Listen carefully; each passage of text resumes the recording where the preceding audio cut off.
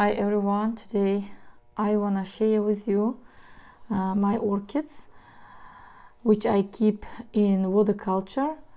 And today I decided to make this video because I didn't see any results in water culture. Uh, my orchids are eating themselves. And today I decided to put them in sphagnum moss. And um, I want to share with you uh, what happened with these orchids and what kind of um, problems I had in culture. Let's start from this orchid. Here are three kind of orchids are sitting in culture. As you see, they grew healthy roots in one week and now it's almost months uh, but in one week I saw growing roots healthy roots and see here is a other one. This is oncidium. This is bulbophyllum. And this orchid I don't know the name. And this one is doing great in water culture and it wants to uh, to grow its root. You see this is root. And here this orchid has new leaf which started growing in water culture. This is good news which I want to share with you. Um, in water culture I had roots good roots. That's why I decided to put my phalaenopsis orchids in water culture also but I didn't have good results with them. I put them in water culture months ago this orchid when I came from vacation I found out that it was not going good. I saw these flowers. They were fading like this and it's months almost um, these flowers are still like this. Months ago I found them in this situation with fading flowers but they are not falling. And you see how they were they're sitting as is. And I decided to put uh, this orchid in water culture. Uh, the reason why I didn't cut this flower spike um, was that um, this uh, flower spike was growing keikis I applied keiki paste in this uh, flower spike. It was growing uh, two keikis here I will show you something. In this place from this place it was growing keikis it was big enough. It was visible. And I was not careful. I picked this orchid from this place. I hold it from this place and I wanted to take out from the vase and this way I broke this uh, keiki and here this orchid had four leaves. When I was putting it in the water it had four leaves. And you see this orchid is eating itself. This is a, a third leaf. And here was another leaf. It fall. It turned yellow. It fall and this uh, leaf is also turning yellow you see and it wants to fall also. And I, in this uh, 25 days I didn't see any any results with this orchid. Um, you can say that uh, that because I didn't um, cut this flower spike that's why it didn't root. Yes I agree with you most of people can think like that but uh, you see this orchid even I put them in water culture at the same time and I don't see any results with this one too. It means in water culture roots they don't grow fast as we think. Uh, before I didn't know um, any anything about water culture but I watch videos also about water culture. I like that people grow in water culture new roots. I like that. And I wanted to put my orchids also in water culture. And I thought that roots will grow fast. But as you see in one month I didn't see any results. Uh, here I, I didn't lose uh, any roots in water culture. But this orchid it didn't have roots. Before I placed it in water here it had uh, one hanging rod and it decayed. I removed it. And now um, because I didn't take uh, I didn't cut this flower spike this orchid is eating itself because these flowers uh, taking all the energy from the leaves. That's why this orchid is yellowing its leaves and it's day every day it's becoming more um, weak. You see wrinkly leaves fluffy leaves. It had more strong leaves before I placed it in water. And this one also it uh, it has more stronger leaves but it's becoming soft also. It's not uh, in a turgor you see and I I don't have any roots with this orchid and it's better to put it in sphagnum moss and grow roots. I will show you other orchids which I placed in moss.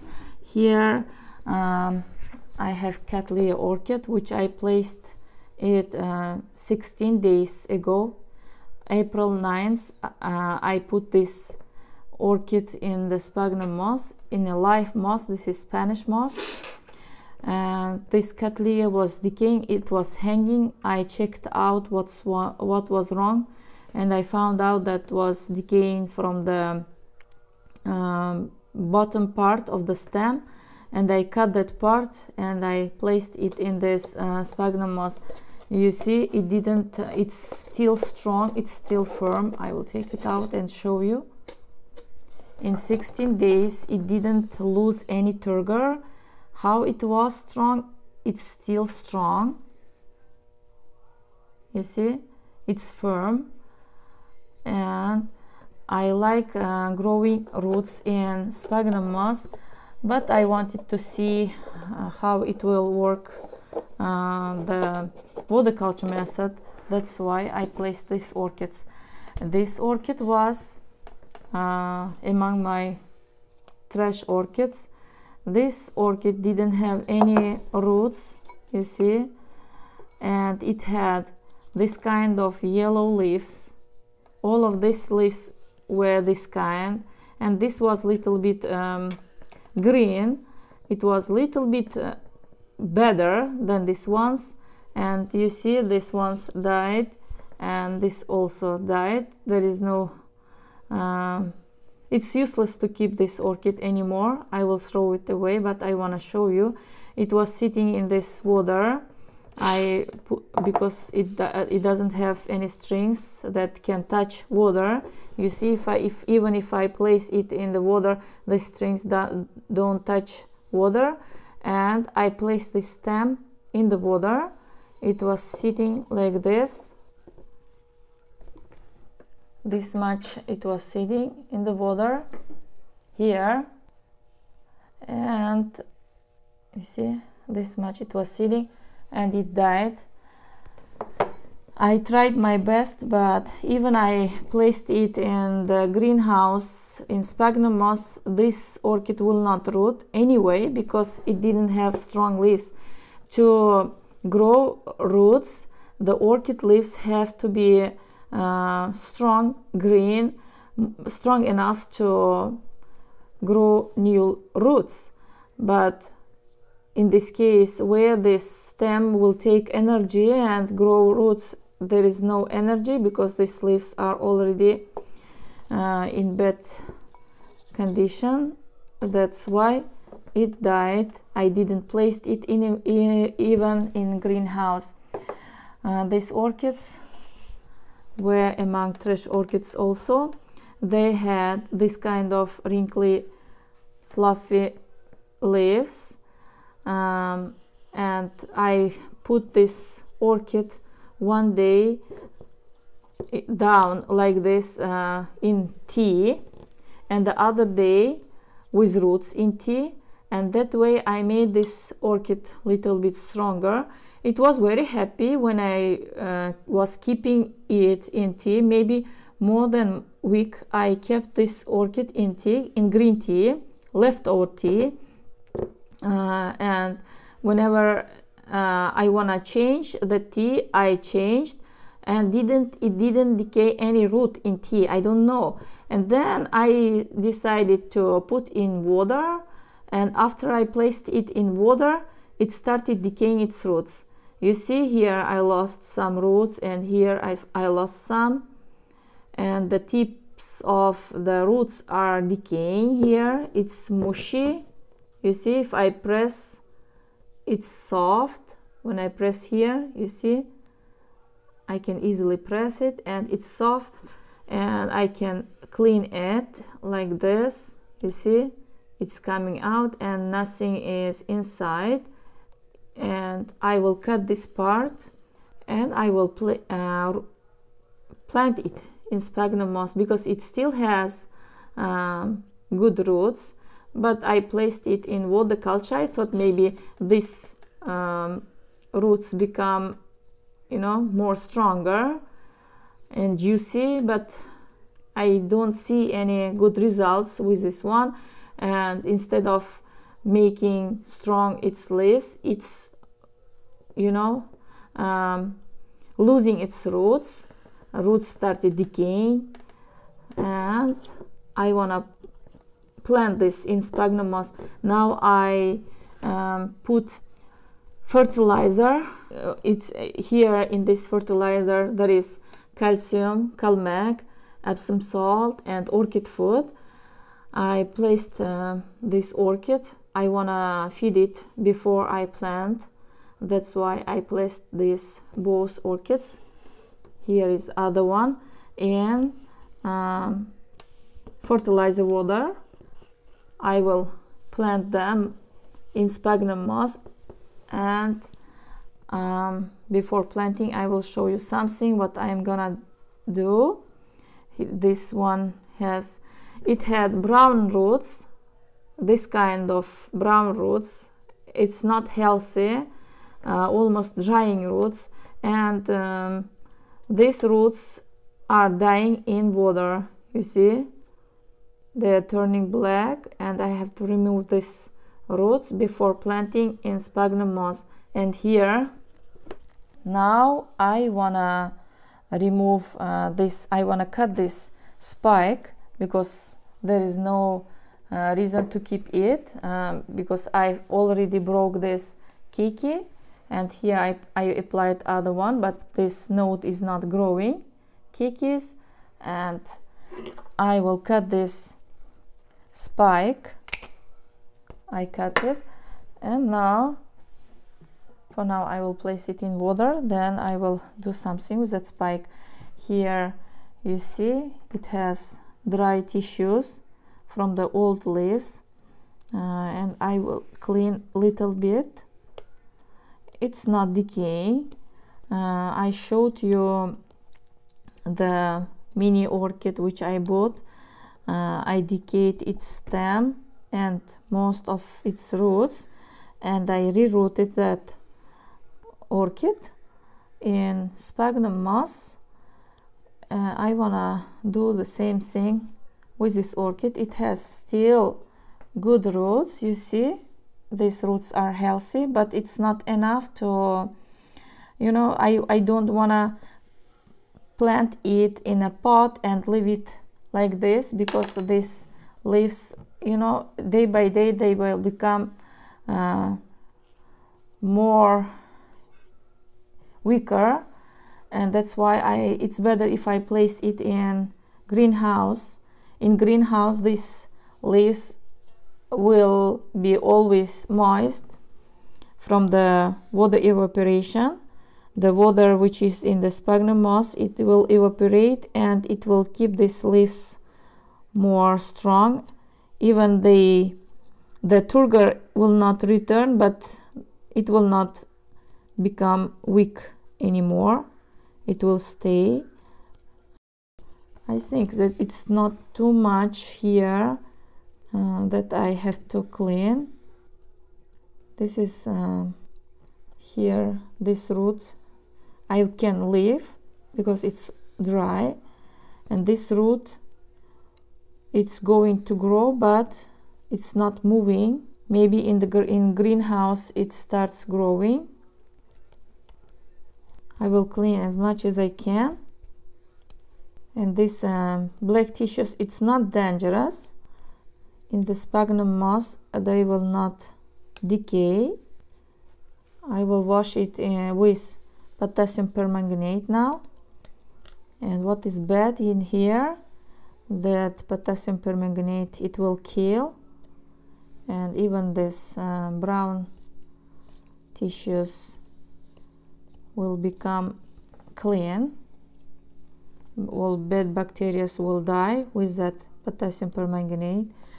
Uh, my mom is pharmacist and she used to um, use that potassium permanganate when we were small kids.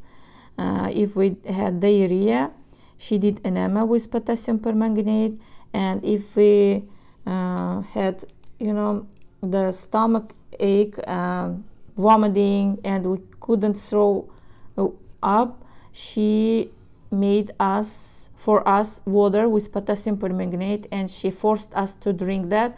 And when we drank that water it uh, made us to throw up. And that way she cleaned our stomach.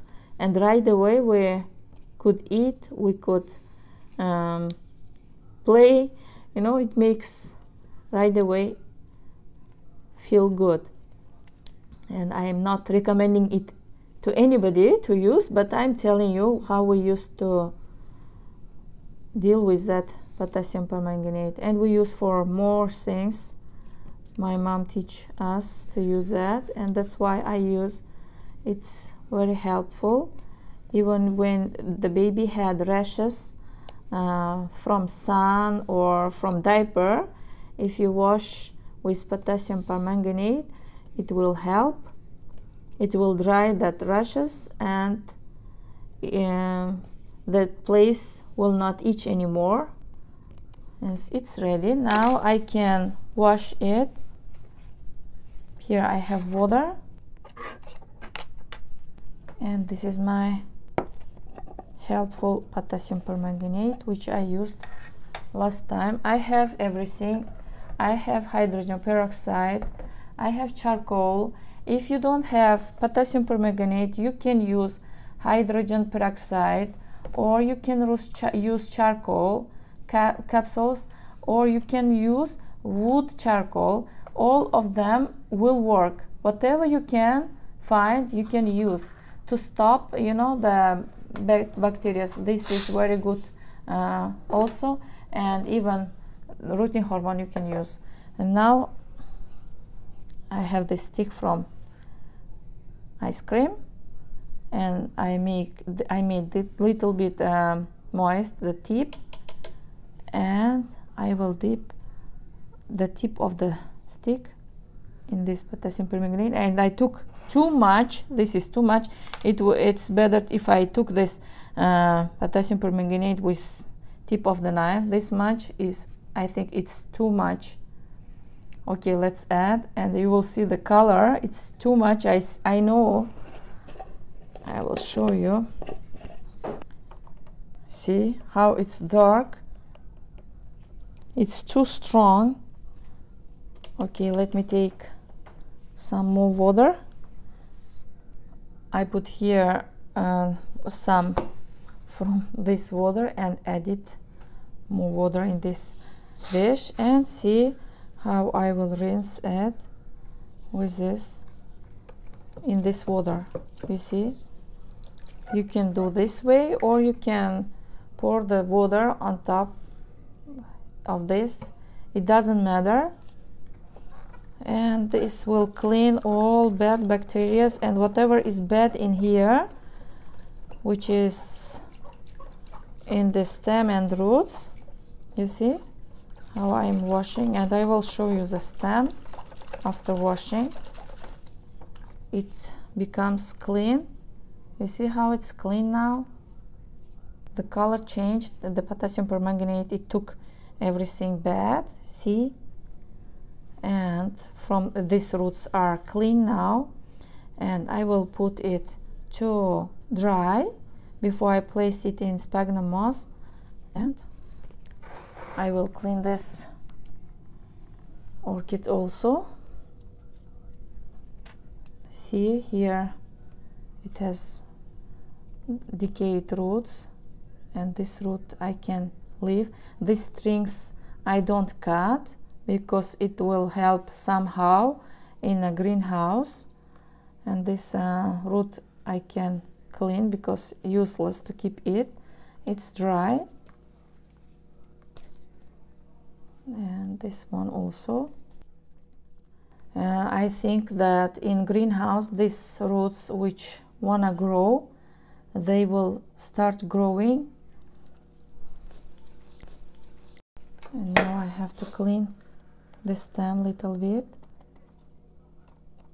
Because I don't want this uh, black tissues turn to the mold mold. They will get mold you know the in the greenhouse sometimes and I don't want that. And I will clean little bit not much because this stem is still good it's not decayed. It has uh, the dry tissues from the old leaves I think. That's why we have to clean little bit. And this it's coming.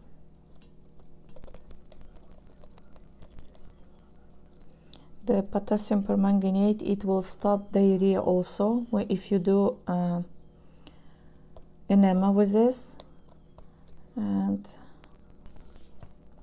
because it kills all bad bacteria now this one is also ready. I cleaned it. Okay I am cleaning the today I have another cameraman. And I don't know how he is taking video. My husband is helping today. Usually videos I take with my son. My, my husband is doing it today for the first time with me. No for the second time he did plumeria video also and see I can rinse in this water because these uh, orchids are healthy orchids. They don't have any disease except you know the decayed roots. And I am rinsing it like this you see. And I put clean water with potassium permanganate and rinse it like this and as you see the stem is clean. And I will leave it to dry before I place in greenhouse. And I turn on the fan. And I will do the same with these roots. I will show you. Let me put fan on. And dry these orchids